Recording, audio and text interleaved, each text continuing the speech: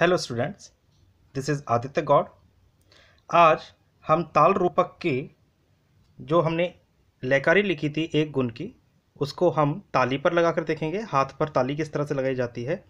तो एक बार जल्दी से हम इसको रिवाइज कर लेते हैं। रूपक ताल में सात मात्राएँ होती हैं, तीन विभाग होते हैं। चौथी और छठी मात्रा पर इसकी ताली मानी है हमने, और पहली मात्रा पर इसको हमने खाली माना है। रूपक ताल की पहली मात्रा ताली मानी जाए या खाली मानी जाए इसे लेकर संगीतकारों में मतभेद है विवाद है। हमने यहाँ पर रूपक ताल की पहली मात्रा को खाली माना है। तो रूपक ताल के बोल हैं ती ती ना धी ना धी ना। पहले विभाग में तीन मात्राएँ दूसरे विभाग में दो मात्राएँ और तीसरे विभाग में भी दो मात्राएँ। तो आप आ, मुझे उम्मीद है कि आप लोगों ने रूपक ताल के बोलों को याद कर लिया होगा। रूपक ताल के बोल इस प्रकार हैं ती ती ना धी ना धी ना। तो आइए अब हम इसकी ताली जो है लगा कर देखते हैं। ताली पे यहाँ पे हम पहले विभाग में तीन मात्रा हैं, ती ती, ना। तो ती ती, ना में जो हमारी पहली मात्रा है, वो खाली है सम का चिन्ह है, लेकिन ये खाली मानी है। तो खाली हम कैसे दिखाते हैं, आपको ये पता है, खाली को हम सीधे हाथ को एक तरफ़ ले जाके दिखाते हैं। ती इस तरह से। तो पहली मात्रा हमने खाली दिखाई ती ती के बाद फिर इसी विभाग में दो और मात्राएँ बची हैं ती ना। तो ती ना को हम अलग अलग फिंगर्स पे काउंट करेंगे ती ना।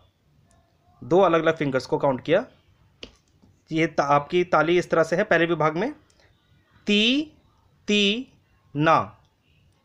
तो ये तीन मात्रा इसकी पूरी हो गई। इस पे दूसरे विभाग में दो मात्राएँ हैं और चौथी मात्रा पे यहाँ पे ताली है। धी, ना। तो धी पे हम ताली बजाएँगे और ना को हम फिंगर पे शो करेंगे। किस तरह से? धी, ना। एक फिंगर पे शो किया।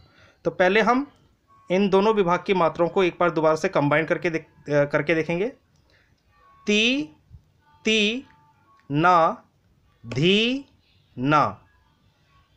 इसी प्रकार से अब यहाँ पे जो तीसरी आपका जो विभाग है, तीसरे विभाग में भी दो मात्राएँ हैं और बोल हैं धी ना। तो छठी मात्रा पे जो धी का बोल है, इस पर हमारी दूसरी ताली आएगी और ना को हमने फिंगर पे शो करना है। कैसे? धी ना। तो शुरू से आखिर तक हम एक बार इसको कंबाइन करके देखते हैं। ती ती, ना, धी, ना। धी ना। तो ये आपकी एक गुण की ताली थी। एक बार दोबारा से देख लीजिए। ती ती, ना, धी ना धी, ना। तो आप इसका परिचय और इसके जो बोल हैं, उसको अच्छे से याद कीजिए और एक गुण की ताली को आप लगा कर देखिए। आइए अब आगे हम इस ताल की दुगुन को किस प्रकार लिखते हैं, वो करके देखते हैं। तो रूपक ताल की हम आज यहाँ पे दुगुन की लयकारी करके देखेंगे कि रूपक ताल की दुगुन की लयकारी किस प्रकार की जाती है। तो दुगुन में हम क्या करेंगे? सबसे पहले हम रूपक ताल के बोल लिखेंगे। ती ती, ना, धी, ना धी, ना। यहाँ पे रूपक ताल के बोल हमने एक बार लिख लिए। ती ती, ना, धी ना धी, ना। अब आपको जैसे कि पता है, पहले भी हमने जो आपको झपताल पढ़ाई थी तो उसमें भी हमने बताया था कि दुगुन में किसी भी ताल के बोल दो बार आते हैं। तो यहाँ पे अभी हमने ताल के बोल एक बार पूरी तरह से लिखा है। ती ती, ना, धी ना धी, ना। अब हम दोबारा से स्टार्टिंग से एक बार और इस ताल के बोल यहाँ पे बिना कोई गैप दिए लिखना शुरू करेंगे। ती ती, ना, धी ना धी, ना। अब यहाँ पे हमने रूपक ताल के जो बोल हैं, उनको दो बार लिख लिया है। ती ती, ना, धी ना धी, ना। एक बार हो गया। ती ती, ना, धी ना धी, ना। यहाँ पे दो बार हो गया। अब हम हर जो दो बोल हैं, उनका ग्रुप बनाएँगे। ये दो बोलों का एक ग्रुप बन गया। फिर उसके आगे के दो बोलों का दूसरा ग्रुप बन गया। फिर उसके आगे के जो दो बोल हैं, तीसरा ग्रुप बना दिया। फिर उसके जो आगे हैं, उसका चौथा ग्रुप बना दिया। फिर ये पांचवा ग्रुप बन गया, ये छठा ग्रुप बना दिया और ये लास्ट में हमने इसका सातवां ग्रुप बना दिया। तो दो दो बोलों के हमने इसमें यहाँ ग्रुप बना दिया। ग्रुप बनाने के लिए हम बोलों के नीचे सेमी सर्कल को यूज़ करते हैं। अब हर ग्रुप को उसकी मात्रा लिख देंगे। मात्रा के आगे हम हर ग्रुप के ऊपर उसकी मात्रा लिख देंगे। जैसे पहले ग्रुप पे वन, फिर यहाँ लिख दिया टू, यहाँ तीसरे में लिखा हमने थ्री, देन यहाँ लिखा फोर, यहाँ लिखा हमने फाइव, यहाँ लिखा हमने सिक्स और यहाँ लिख दिया हमने सेवन। हर ग्रुप को उसकी हमने मात्राएँ दे दी। पहला, दूसरी मात्रा, तीसरी, चौथी, पाँचवीं, छठी, सातवीं। अब आपको याद है कि चिन्ह में वन के नीचे क्या आएगा? क्रॉस।